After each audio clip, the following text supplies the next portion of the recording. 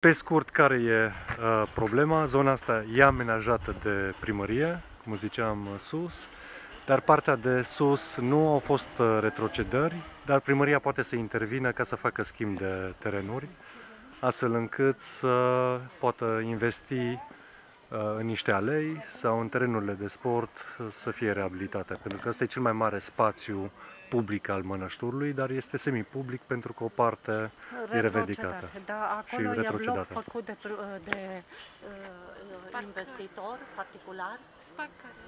Uh, E o parcare și Asta acolo, e uite parcare. că e interesant, uh, mami, povestea asta, în sensul în care erau terenuri private, dar primăria a reușit să negocieze pentru acele terenuri private, pentru că uh, erau și investiții mai mari, dar pentru terenuri de sport sau spații verzi nu negociază cu uh, privații. Și ăsta e un exemplu clar că se poate negocia, faptul că se face parkingul.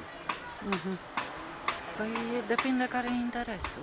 Dorința noastră este de a consolida o voce a acestui cartier și acestei zone în special, pentru că această voce să, să ceară primăriei uh, clar și respicat uh, rezolvarea juridică a problemei uh, spațiului și zonei verzi la terenuri. Uh, Bineînțeles că e o muncă destul de mare, uh, este o muncă de ani de zile, de veri întregi și primăveri și toamne, în care încercăm să transparentizăm problema spațiului juridic. Foarte multă lume percepe acest spațiu ca spațiu public, de ce nu face primăria, de ce nu curăță. Noi apoi încercăm să explicăm de ce nu se întâmplă aceste lucruri, dar ne dorim să se întâmple și acest spațiu să și-l asume domnul primar, cum poate să-și asume și alte parcuri din Cluj.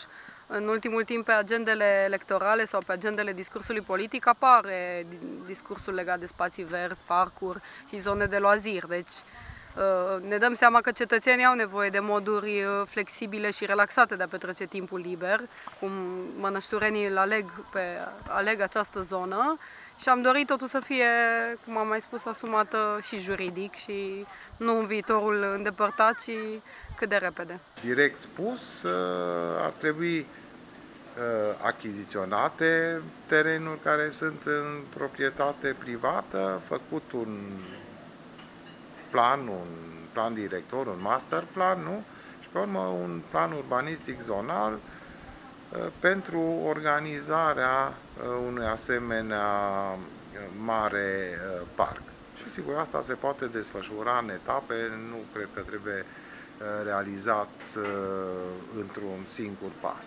Reprezentanții primăriei cu care am vorbit îmi spuneau că politica lor este de a nu negocia cu proprietarii privați pentru a nu ajunge la diverse discuții ce terenuri sunt răscumpărate și ce alte terenuri nu sunt răscumpărate. Dar după cum vedem în zonă, primăria a negociat cu proprietari privați pentru a realiza parkingul, dar nu neapărat pentru un uh, parc și o bază sportivă. Da, ziceam de fapt că una din problemele importante e faptul că autoritatea publică nu are drept de expropriere pentru uh, zone verzi. Și fără acest drept de expropriere, eu sunt uh, condus spre o uh, negociere cu niște proprietari care pot să aleagă să cedeze, să vândă terenul primăriei sau nu.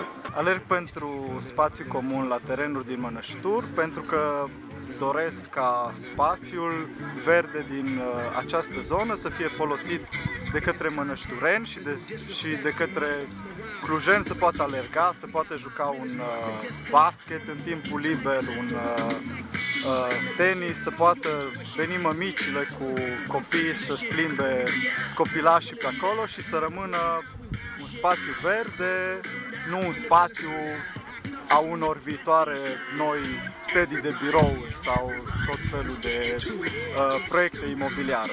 La Da? Terenul!